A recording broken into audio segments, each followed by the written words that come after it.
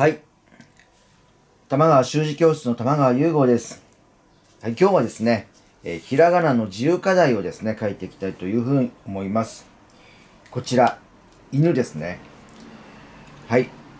この字につきまして、ここのですね、余白をですね、注意して書いていくんですけれども、例えばこのい、いをですね、この1画目からですね、この2画目に行くときには、この、ちょっと 1, 画目のですね、支出よりも少し下になりますかね。ちょっと、この余白を作って、で、軽く入って、そして、えー最終角は止めるといった用筆をいたします。ぬですね。ぬは、ここ、このですね、部分が特に注意して書かなきゃいけないんですけれども、筆を突き当てた後ですね、軽く跳ね上げます。跳ね上げて、ここにですね、裏筆になるんですよね。で、こう返していくとですね、ここで細く、ここで細くなってから、だんだん筆圧をかけていく。で、またここにですね、この結びの部分はですね、軽く突き当てた後、筆をまた返すようにしてですね、作っていくという風になります。この「ぬ」の1画目、2画目のこの高さですね。そして、この跳ね上げる時のですね、この角度。で、この収出はですね、右下に作っていくというように書いていきたいと思うんですけれども、ひらがなの場合はですね、前からも話していますようにですね、元の漢字を意識して書くことがとても大切になります。例えば、いという字はですね、以上以下、持ってですね、の、いがですね、発生して、このひらがなになっています。まあ、例えばいいですね。こう、こう、で、こうで、こういう漢字がですね、こう、こう、こう、このように変わっていき、そしてですね、一画目のが太くなって、長くなって、そして、こういう動きになって、そして、こうなんですね。これが、いのですね、字の変なので、こういう筆の流れがですね、変異して、いというひらがなになっているということを頭に入れて書いていっていただきたいというふうに思うんですね。で、ぬはですね、えーやつ、えー女辺にまたですね、その字が変異してぬという文字になっています。え例えば、まあ、女辺ですからね、この間もやりましたけど、こうやで、こう、で、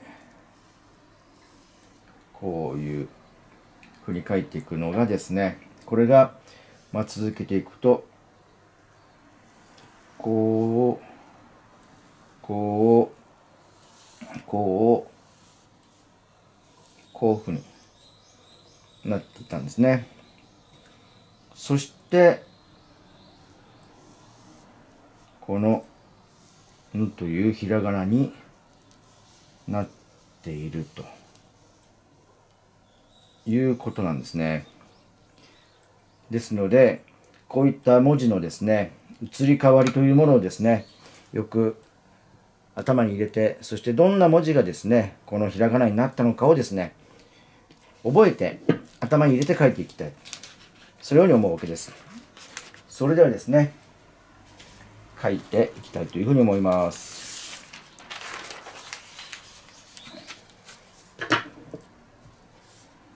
はい、まずはいいですね。はい1、画目しっかりと入って、そして内側にこうこう描くようにしていきます。押さえ直してからこうですね。で、この動きを受けてですね、ここの横のラインも少し下あたりですね。からこう入っていく。で、最終角を止める。これがいいですね。はい、次の。斜めにこうきます。で上に跳ねきますね。で次の。